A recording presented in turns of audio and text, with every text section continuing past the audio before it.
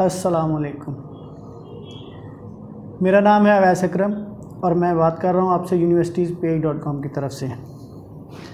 आज हम जिस कंट्री के बारे में बात करेंगे, वो है टर्की टर्की का स्टूडेंट वीज़ा वहाँ कैसे अप्लाई कर सकते हैं एक्सेट्रा जैसा कि आपको पता है टर्की और पाकिस्तान के रिलेशनशिप शुरू से ही बहुत अच्छे रहे हैं और आजकल रिलेशनशिप और भी ज़्यादा स्ट्रॉन्ग हैं। तो और जिस, जिसकी वजह से टर्की ने जो है स्पेशली पाकिस्तानियों के लिए काफ़ी सारी स्कॉलरशिप्स जो हैं, वो प्रोवाइड की हैं। तो उस बारे में मैं आपको अपडेट करता हूँ आज। सबसे पहले आता है टर्की स्कॉलरशिप शिप्स की इनटेक्स नॉर्मली टर्की की भी दो ही इनटेक्स हैं, बाकी कंट्रीज़ और यूनिवर्सिटीज़ की तरह मार्च और सितंबर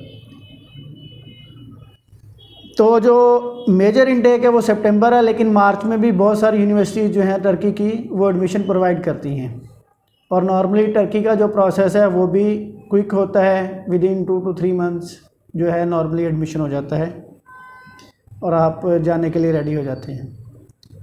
स्कॉलरशिप्स स्कॉलरशिप में टर्की दो तरह की स्कॉलरशिप मेन प्रोवाइड कर रहा है फुली फंडेड और पार्शल स्कॉलरशिप्स फुली फंडेड जिसमें टर्की आपको तमाम फैसिलिटेट करता है, जिसमें आता आता है आपका tuition fees dormitory stipend etcetera और पार्शल में है, इनमें से कुछ फैसिलिटीज़ होती हैं ट्यूशन फ़ीस पे करते हैं, और आपको लिविंग अलाउंस नहीं मिलता। इस तरह जो है, ये पार्शल हो जाती हैं। जो पार्शल स्कॉलरशिप है, इसमें यूनिवर्सिटी का जो फ़ीस स्ट्रक्चर है, वो अराउंड वन थाउज़ेंड डॉलर से टू थाउज़ेंड डॉलर के दरमियान होता है। और इसको आप दो स्टेप्स में पे कर सकते हैं। फ़र्स्ट जब आपका एडमिशन होता है फिफ्टी परसेंट आप तब पे करते हैं और सेकंड फिफ्टी परसेंट जो रिमेनिंग होती है, आप यूनिवर्सिटी में पहुँचने के बाद वहाँ पे करते हैं। और एक जो प्लस पॉइंट है टर्की के हवाले से, वो यही कि यहाँ भी किसी यूनिवर्सिटी में नॉर्मली आइल्स की ज़रूरत नहीं है। तो पाकिस्तानी स्टूडेंट्स के लिए जो बड़ी मुश्किल है, इन्होंने भी सॉल्व की हुई है विदाउट आइल्स एडमिशन देते हैं। और आपको पता है टर्की जो है, एशिया और यूरोप दोनों में आता है तो फिर ये इस तरह जो है एक बहुत ही प्यारा टूरिस्ट प्लेस होने की वजह से लोगों की टूरिस्ट अट्रैक्शन भी है और लोग वहाँ जाना पसंद करते हैं। तो अब मैं आपको बताता हूँ रिक्वायरमेंट्स क्या है? एक तो आपके पास सबसे पहली बात बैंक स्टेटमेंट की ज़रूरत है।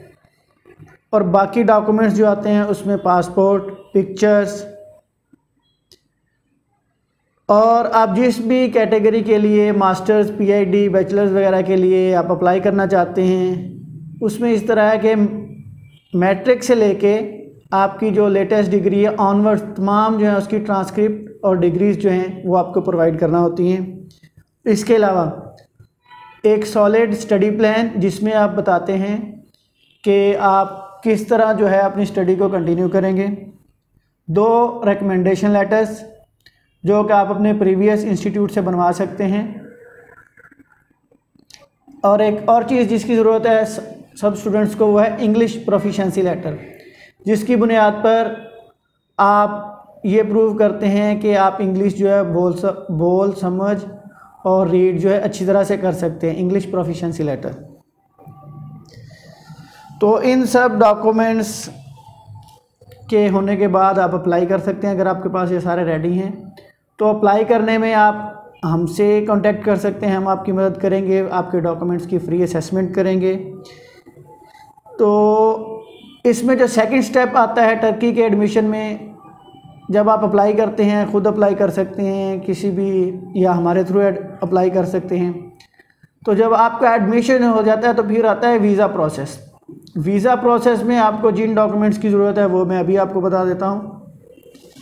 सबसे पहले passport with six months validity जिसमें छः महीने उसकी वैलिडिटी रहती हो मिनिमम और दो से चार पेज एम हों ताकि वीज़ा स्टैम्प किया जा सके। पिक्चर्स ज़रूरी हैं। एडमिशन लेटर और बाकी जो आपकी फ़ुल फ़ाइल थी एडमिशन से रिलेटेड स्टडी डॉक्यूमेंट्स एक्सेट्रा वो full file bank statement N T N and tax returns details etcetera और इसमें जो होता है, जब आप बैंक स्टेटमेंट बनाते हैं, अगर तो अकाउंट की जो स्टेटमेंट है, आपके नाम पर है, फिर तो वेल एंड गुड है। सेकंड केस आपको एफिडेविट बनाना पड़ता है, अगर यही स्टेटमेंट आपके किसी पेरेंट्स में से किसी के नाम, या भाई या रिलेटिव के नाम की है ब्लड रिलेटिव तो फिर एक एफिडेविट बनाते हैं जो आपका जो है स्पॉन्सर होता है, उसके नाम की। आपको जाने से पहले अम्बेसी में जाने से पहले आपको एक काम और करना होता है, वो होती है आपने होटल बुकिंग करवानी होती है और टिकट जो है वो भी बुक करवानी होती है। सारी जो है ये डॉक्यूमेंट्स रिक्वायर्ड होते हैं। इसके अलावा जब आप टर्की जाते हैं तो आपको हेल्थ इंश्योरेंस भी बाय करनी पड़ती है, जो डिफरेंट कंपनीज़ प्रोवाइड करती हैं। तो इन सब प्रोसेस के बाद आई होप आप समझ गए होंगे कि टर्की में अप्लाई कैसे करना है। इनके लिए किस किस डॉक्यूमेंट की ज़रूरत है। तो ये आप खुद भी सारा कुछ कर सकते हैं। अगर इन केस आपको स्टिल कोई प्रॉब्लम आ रहा है तो आप हमसे रबता कर सकते हैं। स्क्रीन पर आप हमारा नंबर देख सकते हैं। आप डायरेक्ट कॉल कर सकते हैं या इस पर व्हाट्सएप भी कर सकते हैं ताकि हम आपको फर्दर गाइड कर सकें। कि आपके डॉक्यूमेंट्स की असेसमेंट कर सकें और आपको बताएँ कि ये कोर्सेज आपके लिए अच्छे हैं या नहीं। और नेक्स्ट आप जो है किस लेवल के लिए और किस यूनिवर्सिटी में अप्लाई कर सकते हैं। शुक्रिया।